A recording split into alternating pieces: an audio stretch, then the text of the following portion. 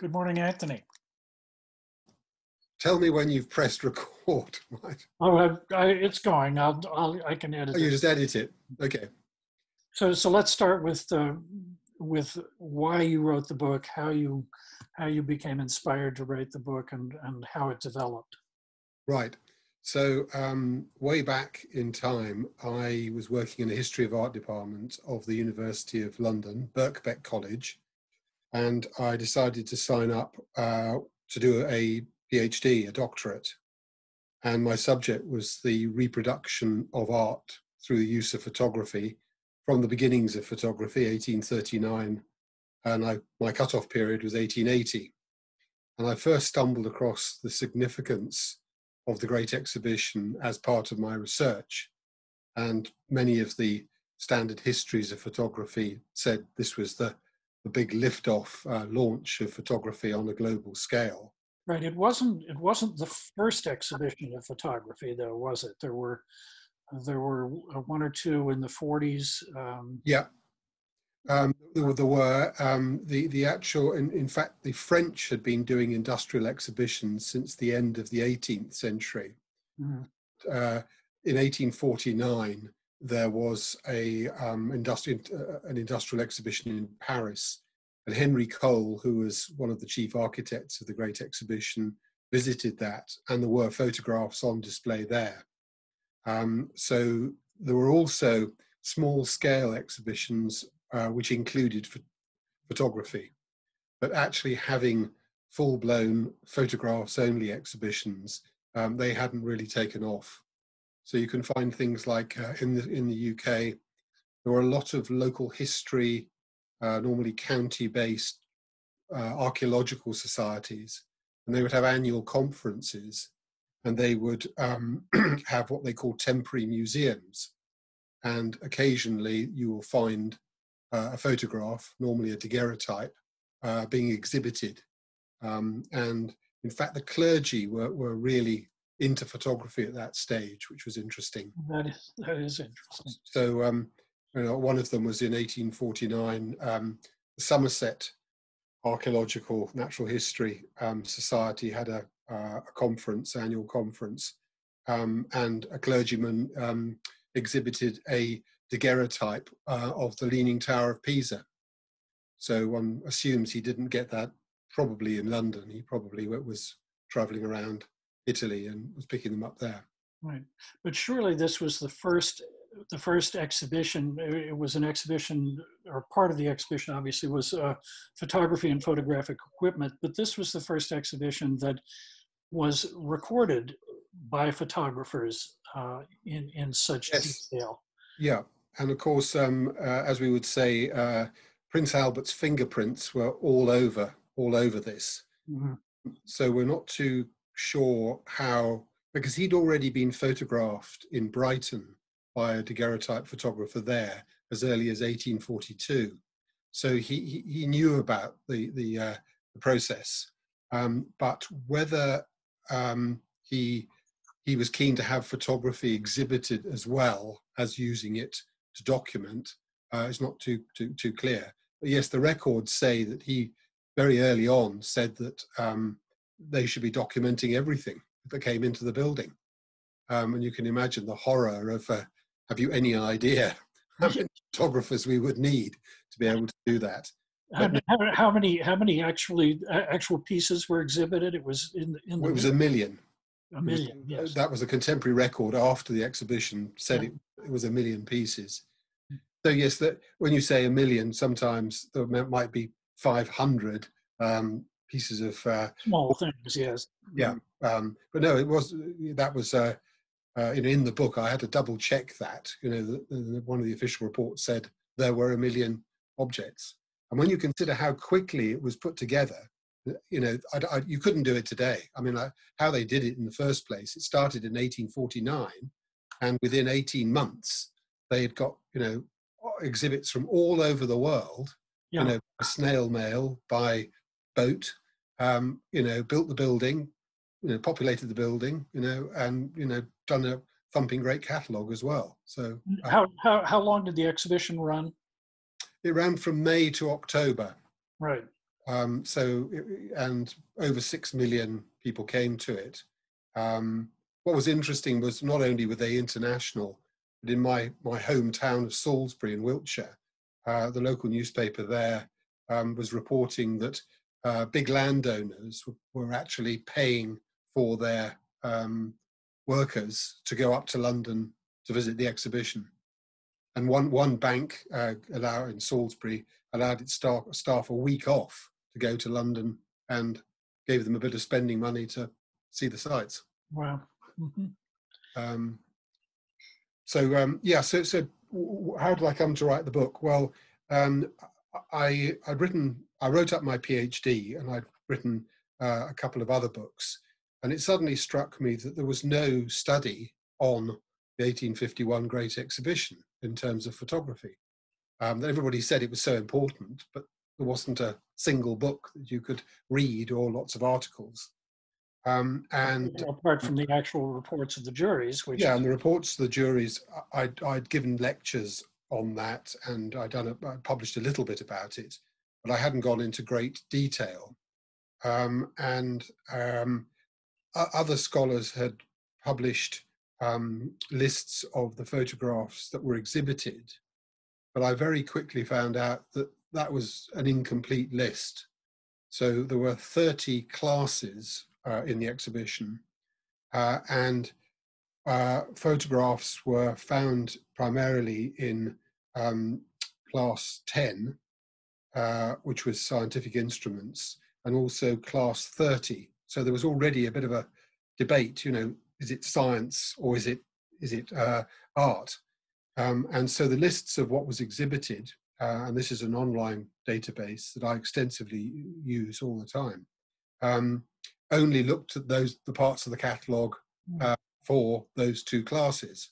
And what I found, and of course this is the joy of um, the age in which we live in, is that the catalogues have been digitized and you can do word searches. Right. And so I was finding photographs littered all over the place because um, you would find um, photographs exhibited um, as specimens in foreign country stands not in the classes uh, that you would expect the photograph to be in. Mm-hmm. Would, it wasn't, they weren't exhibiting the photograph as a photograph, they were exhibiting it as a, um, a, a, document of something. It could be a piece of equipment or whatever. Um, and also the very strange way in which uh, things were laid out. So there was a, a British end of the building, and then there were um, other countries had sections. So once you started delving into each section, you'd find um, uh, maybe an occasional daguerreotype. I'm glad we were able to reproduce the uh, the floor plans of the, of the exhibition. Yes. Um, yeah, very, I, exactly. You know, I find myself going back to those and you know seeing where things were in and how vast it was. Um, yeah.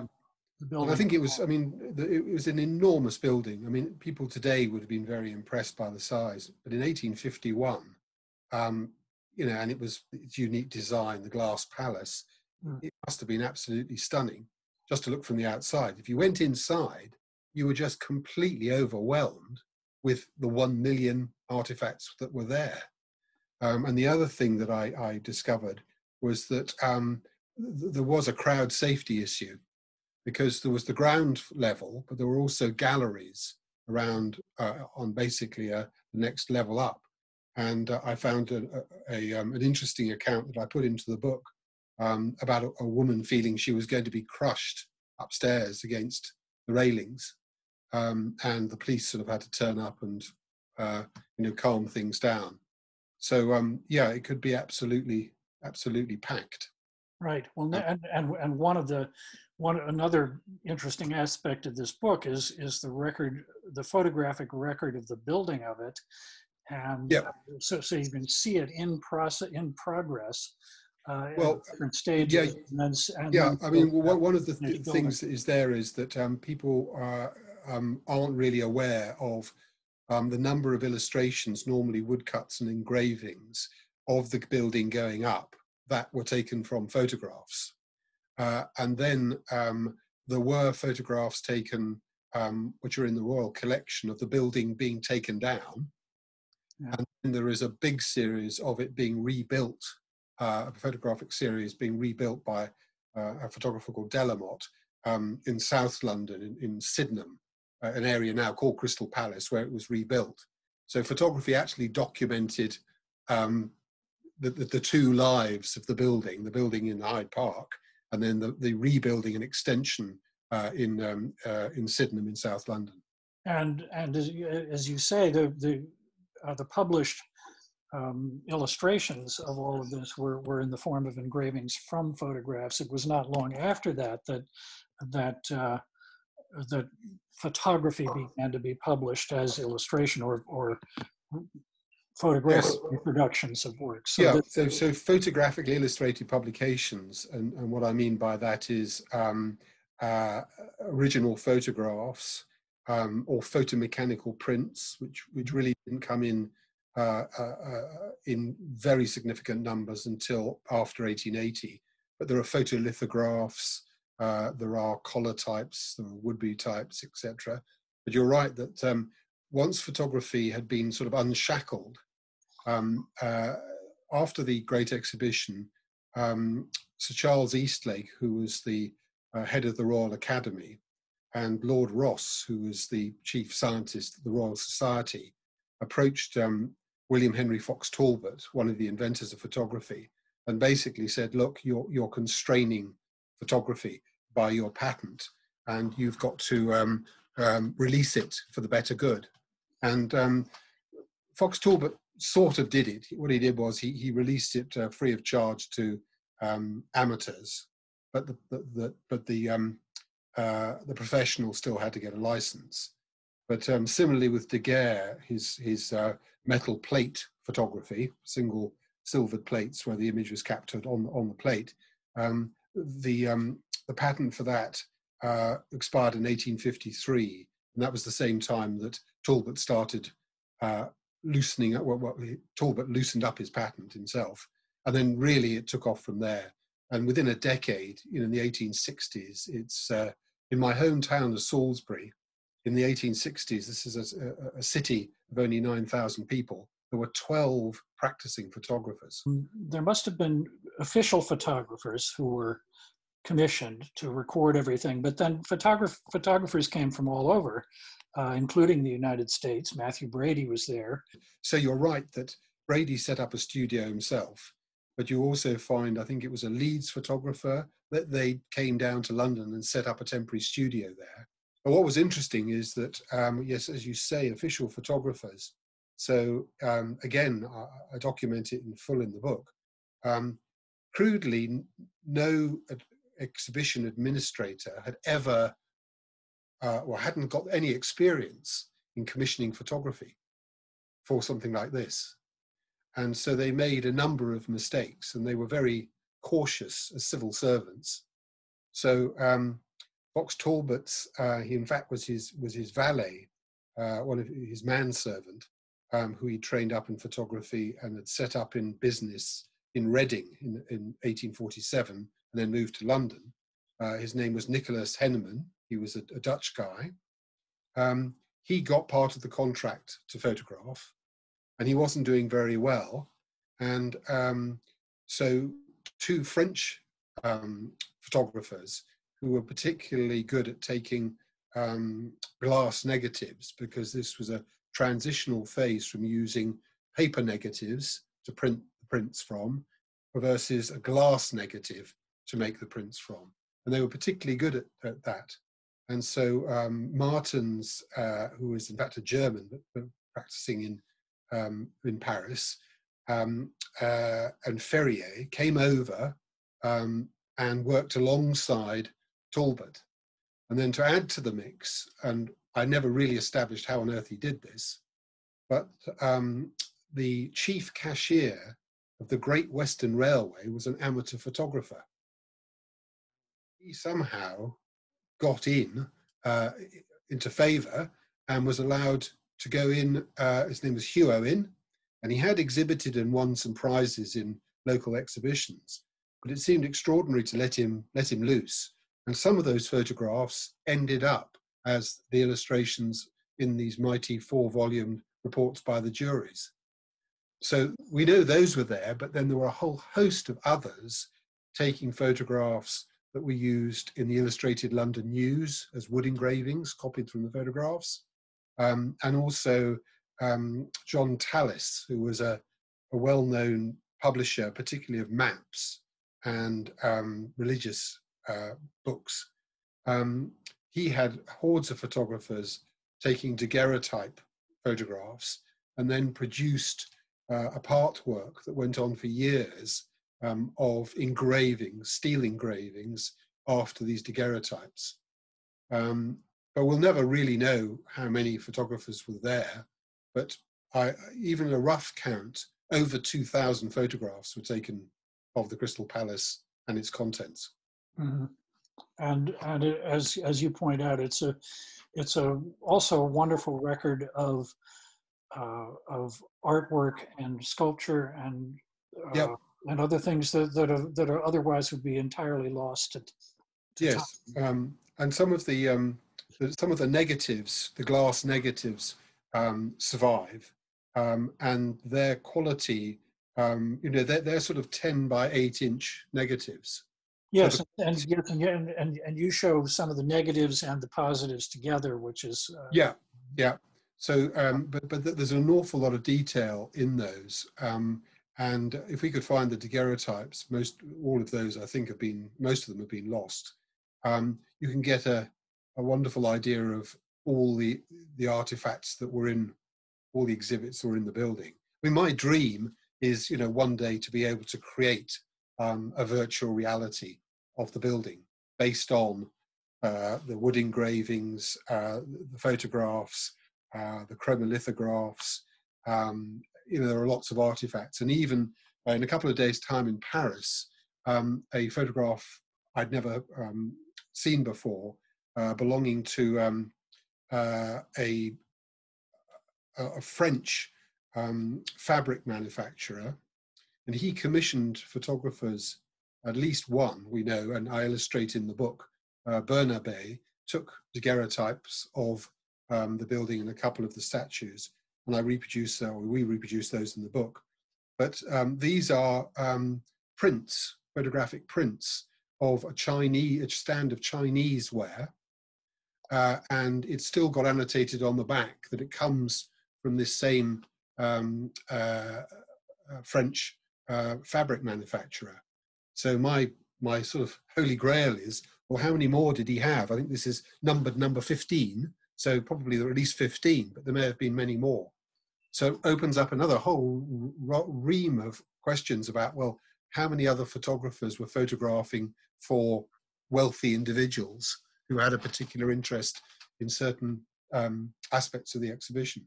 Have you have you had any uh, any discoveries as a result of the publication of this book?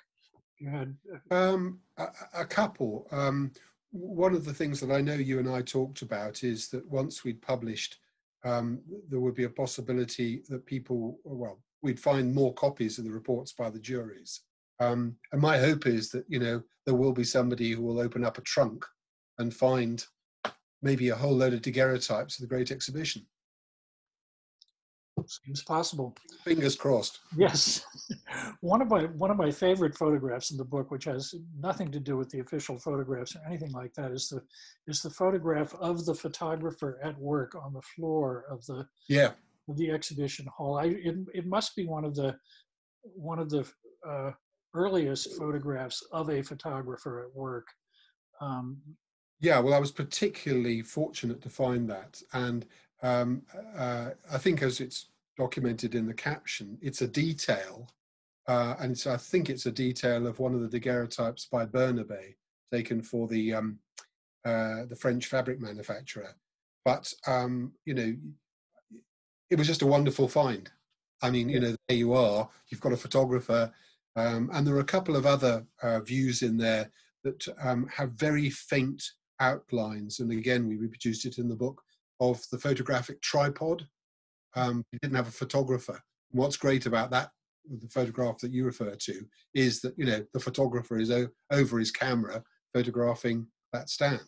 The thing that I haven't been able to do is to, to find a copy of the photographs that he was taking, um, because those were in fact, um, my memory serves me right, uh, a German Berlin manufacturer of oil lamps. Yes, was the stand that he, well, he's standing in front of it. I'm not sure that's what he's photographing. But if, yeah, But we don't know who the photographer is, do we? No, no. No. And I, I think that, the, that one of the, the uh, aspects of this is, I mean, one aspect one has to be very careful about is um, a photograph is credited to a named photographer. Yes. Um, and I was just doing, because part of my, my history is that I was a photographer in the history of art department before digital photography. Uh, I understand the logistics and the practicalities of photographing uh, works of art and inside buildings. And um, there's there must have been multiple photographers. They can't, you know, you can't, you, you cannot credit every single photographer, one photographer, to so many images, so that when it's um, uh, some of the uh, credits uh, to um, John Tallis's book of uh, daguerreotype, or steel engravings after daguerreotypes, um, he, he does actually intimate in his title that he names the big guys, the photographers, but there are and others. So you you, you realize there must have been teams of them. Uh, uh, and uh, I mean, when I say teams, also um, not only moving the equipment about around, but that um, uh, both Ferrier, um, well, yeah, three photographers we know used um, backing backdrops so they had to build sort of canvas screens, fabric screens um, on a frame behind the object because they didn't want a distraction. They could have done, and we sort of allude to it uh, in the discussion about the negatives, what they could have done is simply got somebody to paint over around the object. So you blocked out the background and you just had whatever you were photographing at the front. But they didn't. They actually built, and you can see the slight folds in these frames. So But you, there is, but there is some evidence of retouching in some photographs. oh yeah, oh yeah. There's lots of retouching. Well, they would scratch negatives uh, and they would break negatives, um, and we know that there were multiple negatives. I worked very closely with Nicholas Burnett, who's one of the leading photographic um, conservators in in the world, and um, he, he he he wrote an appendix about the negatives and the degree of retouching was just extraordinary, absolutely extraordinary. So he wasn't taking the glass plate, putting it onto a piece of paper, and then just going getting daylight to create the image, because that's how they were done outside in great racks with frames in them. Um, they were fiddling around the whole time, uh, trying to wash bits out or cover bits up. Um, so what a wonderful story! But again, what a monumental task! Twenty thousand prints had to be printed for the um, reports by the juries. And you can bet your bottom dollar they all weren't perfect first time and they had to make another print because that one hadn't worked. Well, it's a, it's an extraordinary record and, and an extraordinary job that you did pulling it all together and, and uh, getting it in one, in one book. Um, Well, I think I also, I mean, great credit uh, to you know yourself uh, for, for allowing me to publish, but also Scott and Nora, who um, you know produced the book, um, you know, as as it as it came out. So you know, and, and, and the V&A, where uh, who co-published and, and yeah, yeah, indeed. Um, and and uh, so no, I mean, I, I was delighted. Um, I I didn't think when I started that I'd find such a rich and diverse story, um, uh, uh, and it uh, just you know kept on getting uh, more and more detailed, more and more interesting, more and more complex. Um, uh, and you know, I, I think somebody, I, I'm not sure that I'd I'd like to to do it, but I think a um, a you know a study of the 1862 exhibition, um, you know, 11 years later in London, um, would would be an interesting contrast. yes, by, by that time, by that time, the first color photograph had been Yeah, Yeah. but it was more to do with you know it, it was a, it was it was just a mainstream uh, industrialized. Everybody you know knew about photography or having their portraits taken. What the point that you raised, I think, is is linked to my my my ongoing project, and that is the reports by the juries was by far the biggest photographically illustrated publication that had ever been attempted. Um, you know, monumental uh, achievement. Um, and so, what, what, I've been working on for a number of years is um, uh, creating that bibliography of photographically illustrated publications up to 1880. And I'm working closely with a um, uh, another researcher, Steven Joseph, who actually based in Brussels. Um, and we estimate that we'll get 20,000 titles published with photographic illustrations for 1880. By 1880. Mm. Yeah. And the reason the 1880 is after that, um, the half tone takes off and yeah. um, it, it, becomes bluntly unmanageable. Um, you know, you'd, you'd have to almost do, do it by by decade after that because there's just so much photographic illustration was coming out. And then and then tricolor photography not long after that. Yeah, um, uh, that, that's right. So um, um, it's it's somewhat um, it's somewhat artificial, but I think there's logic behind stopping at 1880. Yeah, because there is a big paradigm shift there. Um, but uh, yeah, that's so it's a that's my next project. Great. Well, I, will look forward to it. And yeah, you'll be here. Don't worry, you'll be hearing shortly.